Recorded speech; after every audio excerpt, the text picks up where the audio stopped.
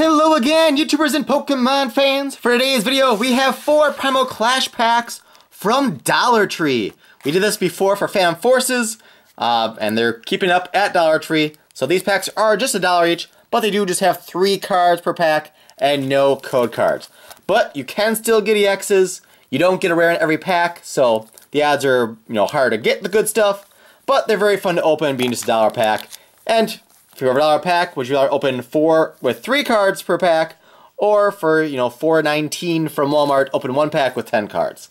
It's possible we get no rares in these ten or twelve cards, but we'll see what happens. So I have one of each pack art, and we'll see what happens. So I'll start with Mega Aggron, and of course I am Jeff, owner of the PokeCapital.com and ToysMCN.com, a YouTube network.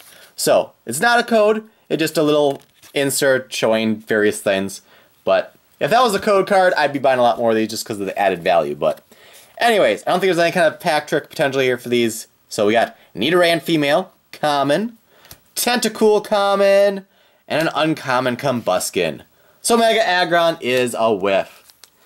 Alright, Mega Gardevoir, what do you have for us? Hopefully we can find at least like one rare and one reverse holo, but we'll see. We've got Volbeat, a rare Kingdra, and an uncommon Rhydon. So we got common, rare, uncommon. Kind of interesting distribution within the pack, but whatever works. Well, I guess in a normal pack, the uncommons come after the rares, unless you do the pack trick.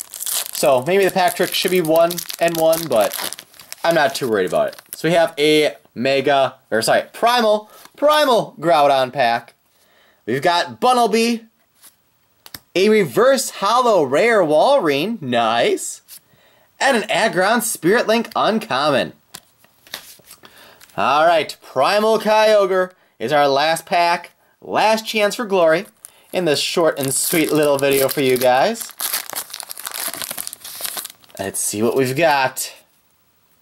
We've got a Staryu, Clamperl, and a Lanoon. But still, I think we did better than a like standard pack. Uh, standard pack, you would have what five commons. We got six. You would have three uncommons. We got four. You would have a rare and a reverse, which we happen to get one that's a rare. So for a little bit less money than one 10 card pack would cost from Walmart, we basically got an extra uncommon and an extra common. So not too bad, I guess. Obviously, it would have been awesome to get an EX in those packs, but you can't have everything now, can you? So that will do it for today's video.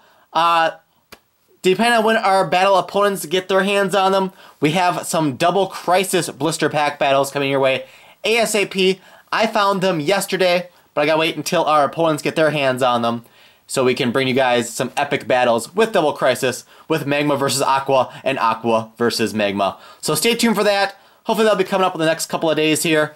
And otherwise, I'll find other stuff to do openings of between now and then. So, thank you all for watching. Please subscribe, smash that like button, and check out the PokeCapital.com for all of your Pokemon needs. And if you want to join our network, ToysMCN.com. All those links and more down below in the video description box. So I thank you all for watching. Hope to see you back here tomorrow, 6 p.m. Eastern, for another Pokemon opening.